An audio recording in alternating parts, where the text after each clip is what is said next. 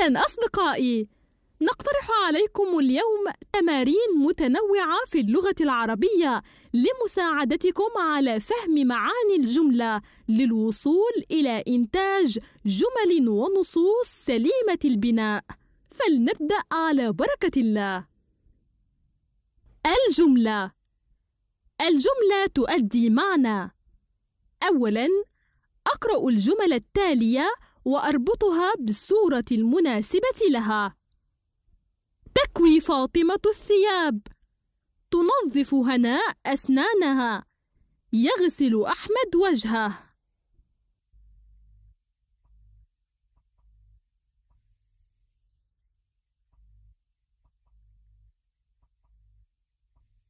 تكوي فاطمة الثياب.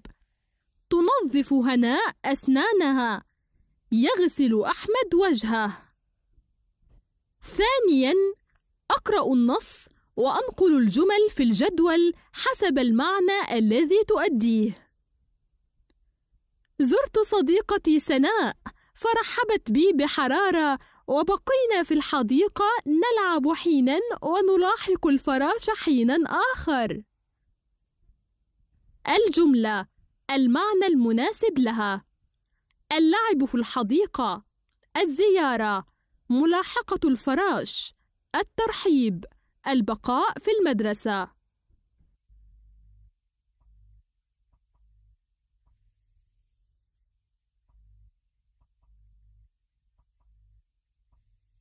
زرت صديقتي سناء فرحبت بي بحرارة وبقينا في الحديقة نلعب حينا ونلاحق الفراش حينا آخر. الجملة المعنى المناسب لها. وبقينا في الحديقة نلعب حينا. اللعب في الحديقة. زرت صديقتي سناء الزيارة. ونلاحق الفراش حينا آخر. ملاحقة الفراش. فرحبت بي بحرارة. الترحيب. لا يوجد البقاء في المدرسة. ثالثاً أفصل جمل النص بوضع العلامة قاطع ومقطوع. لما وصلت مدينة سوسة أخذت أتجول في شوارعها الفسيحة فكانت السيارات تسير في الطرقات بسرعة عجيبة ثم تتوقف عند الإشارة الضوئية في صفوف طويلة.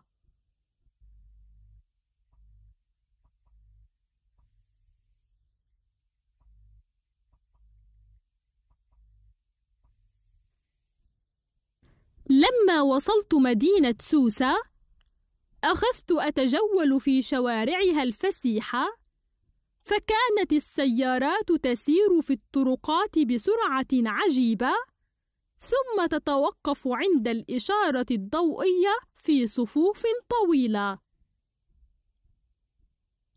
ألون الإجابة الصحيحة. يتحدث النص في التمرين عدد ثلاثة على فصل الخريف مدينة سوسة وصف السيارات.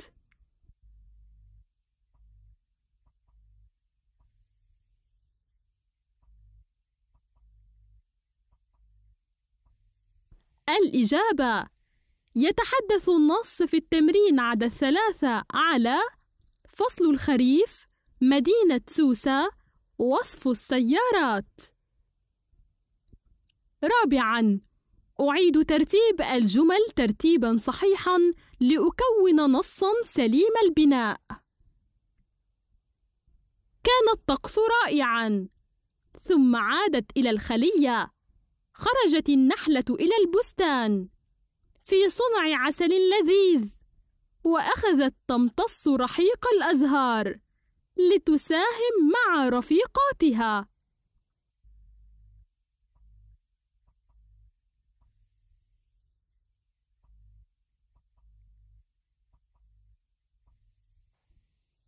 الإجابة. كان الطقس رائعا. خرجت النحلة إلى البستان لتساهم مع رفيقاتها وأخذت تمتص رحيق الأزهار ثم عادت إلى الخلية في صنع عسل لذيذ. خامساً أكمل بما يناسب لتصبح الجمل تامة المعنى. فرحت كثيرا عندما أعطاني جدي يوم الجمعة إلى المسجد.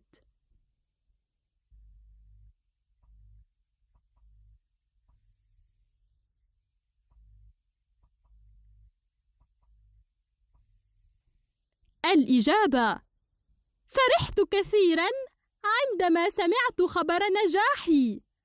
أعطاني جدي شاشية حمراء.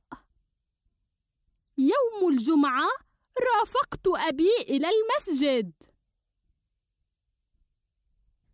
سادسا أعبر عن كل موقف بجملة مفيدة تامة المعنى.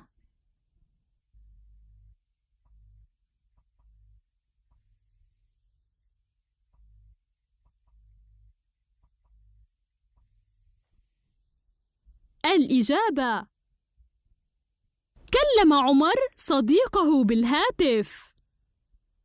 تقف سوسن في المحطة. يشرب شكري ماء باردا. مدلول الجملة. أولاً أوصل المعنى المناسب للجملة. أشرقت شمس النهار على المغيب. ما ألذ هذه الحلوى؟ متى يبدأ الدرس؟ جملة إخبارية جملة استفهامية جملة تعجبية.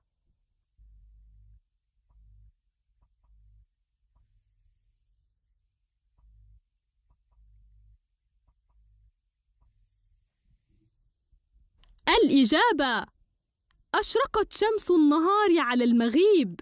جملة إخبارية. ما ألذ هذه الحلوى؟ جملة تعجبية متى يبدأ الدرس؟ جملة استفهامية ثانياً أضع علامة التنقيط المناسبة في الدائرة لكل جملة مما يلي طرق الصرصار باب البيت بحذر وخوف قالت المعلمة للتلاميذ أين مراد يا أطفال؟ لماذا تأخر عن المدرسة اليوم؟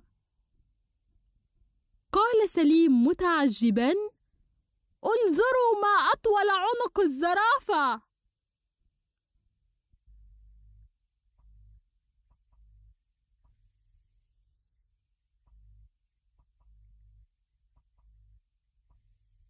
الإجابة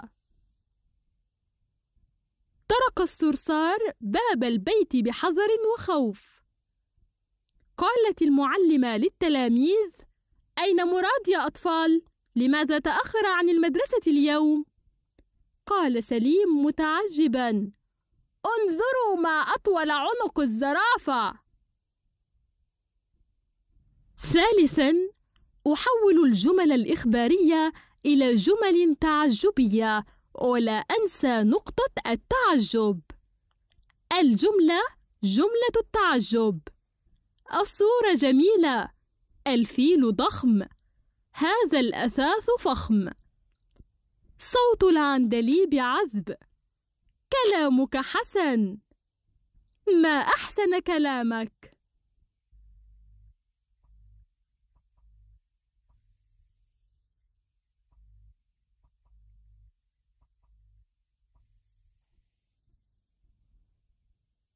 الإجابة الجملة جملة التعجب. الصورة جميلة. ما أجمل الصورة. الفيل ضخم. ما أضخم الفيل. هذا الأثاث فخم. ما أفخم هذا الأثاث. صوت العندليب عذب. ما أعذب صوت العندليب. كلامك حسن. ما أحسن كلامك. صيغة التعجب في الجملة هي ما أفعل وتكون بالعبارات التالية. ما أجمل ما أطيب ما أحسن كم يطريني ما أروع كم يروقني ما ألذ ما أحلى ما أضخم. التعجب. أدوات الاستفهام تدل على السؤال وهذه بعضها. أدوات الاستفهام. كم؟ آ. أي. ما. لماذا؟ كيف؟ ماذا؟ هل؟ أين؟ متى؟ لم تجد سلمى قطتها. فأخذت تبحث عنها متسائلة. أختار أداة الاستفهام المناسبة لكل سؤال. غادرت القطة المنزل. ستعود إلي من جديد. الذي جعلها تغادر. منكم شاهد قطتي؟ يمكن أن أجدها. رأيتم قطتي الصغيرة؟ متى؟ هل؟ من؟ ما أين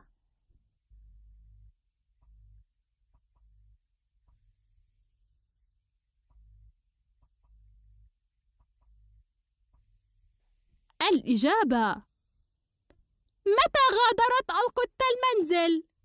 متى ستعود إلي من جديد؟ ما الذي جعلها تغادر؟ من منكم شاهد قطتي؟ أين يمكن أن أجدها؟ هل رأيتم قطتي الصغيرة؟ أحول الجمل التالية إلى جمل استفهامية وأكتبها في الجدول الثاني دون أن أنسى علامات التنقيط في آخر الجملة. سأل المعلم التلميذ عن عدد الحواس عند الإنسان. سأل مجدي أمه عن المكان الذي وضعت فيه صندوق اللعب. سألت رنيم أباها عن ما يوجد في القفة.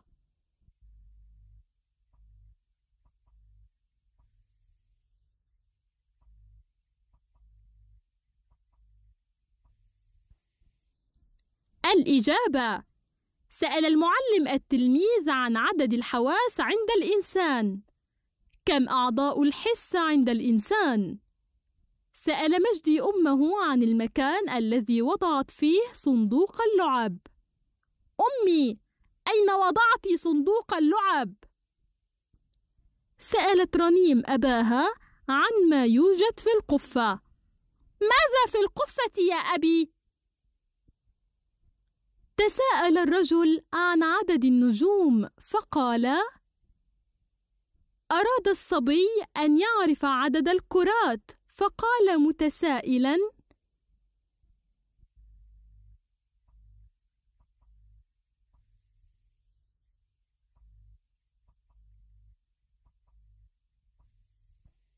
الإجابة تساءل الرجل عن عدد النجوم فقال كم عدد النجوم يا ترى؟ أراد الصبي أن يعرف عدد الكرات؟ فقال متسائلا كم عدد الكرات يا ترى؟ الجملة الفعلية هي التي تبدأ بفعل. أولا أسطر الجمل الفعلية مما يلي. السماء مغيمة. يزقزق العصفور فوق غصن الشجرة. يعمل الفلاحون بجد ونشاط. العم صالح شيخ وقور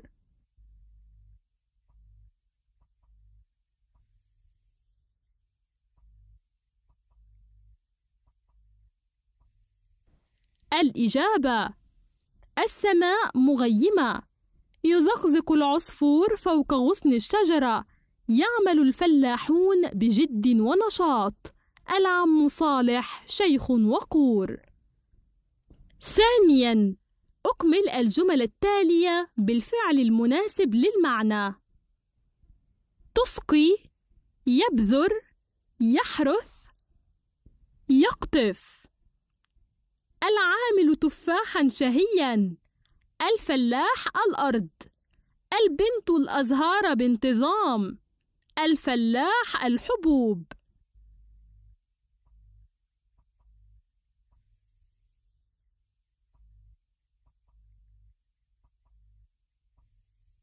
الإجابة. يقطف العامل تفاحا شهيا. يحرث الفلاح الأرض. تسقي البنت الأزهار بانتظام. يبذر الفلاح الحبوب. ثالثا أسطر الفعل فيما يلي ثم أعيد ترتيب الجمل لأكون نصا. استبشر الفلاحون تراكمت السحب في السماء هبت رياح باردة نزل الغيث النافع. حمدوا الله وأسرعوا للعمل بهمة ونشاط. فرويت الأرض النص و و ف و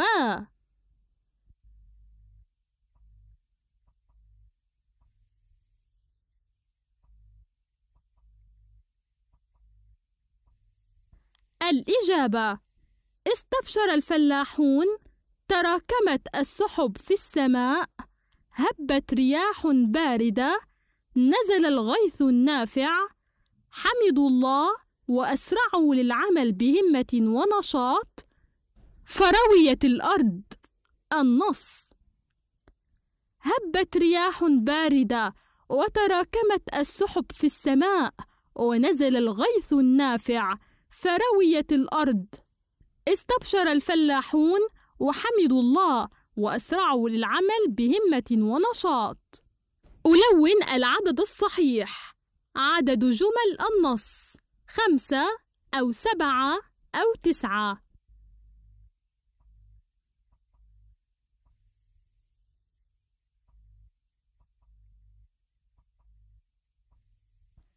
الإجابة عدد جمل النص خمسة أو سبعة أو تسعة.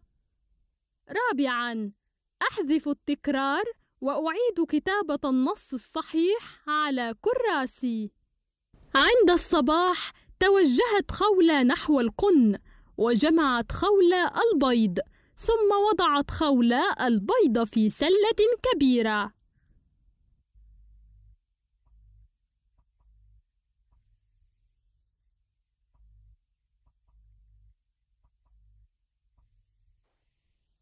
الإجابة عند الصباح توجهت خولة نحو القن وجمعت خولة البيض ثم وضعت خولة البيض في سلة كبيرة.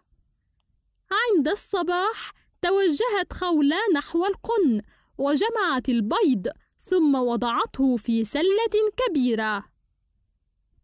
خامسا أتأمل المشاهد ثم أجيب عن الأسئلة بجمل تامة المعنى ماذا يفعل الجزار؟ من الذي يقص الخشب؟ ماذا يزن التاجر؟ ماذا يعرض الخضار؟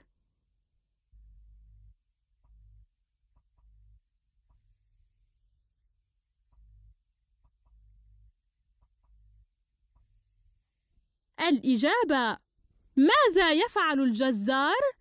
يقص الجزار اللحم. من الذي يقص الخشب؟ النجار هو الذي يقص الخشب. ماذا يزن التاجر؟ يزن التاجر سكرا. ماذا يعرض الخضار؟